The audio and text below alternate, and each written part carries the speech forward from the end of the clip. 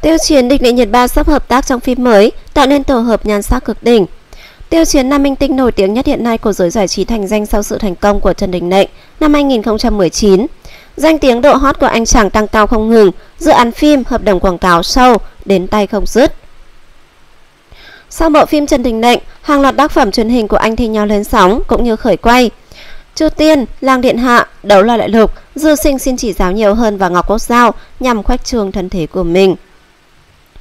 Thế nhưng dù là đầu loa Đại Lục hay Ngọc Cốt sao, nếu so về độ thu hút, nữ chính hiển nhiên đều không bằng Tiêu Chiến. Duy chỉ có Dư Sinh xin chỉ giáo nhiều hơn hợp tác với Dương Tử, được xem là sự liên hợp cực mạnh. Cũng chính vì vậy không ít fan hâm mộ bày tỏ hy vọng Tiêu Chiến có thể hợp tác nhiều hơn với các nữ minh tinh tuyến một như Dương Mịch, Triệu Lợi Dĩnh, Địch Đệ Nhiệt Ba, giúp các tác phẩm vang danh hơn nữa.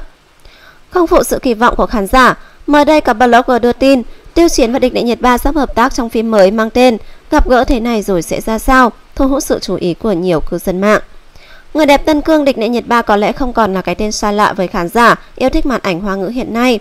Sau sự thành công của hàng loạt tác phẩm như Người tình Kim Cương, Tam sinh tam thể thập lấy đào hoa, Tam sinh tam thể trầm thượng thư, hai em là niềm kiêu hãnh của anh.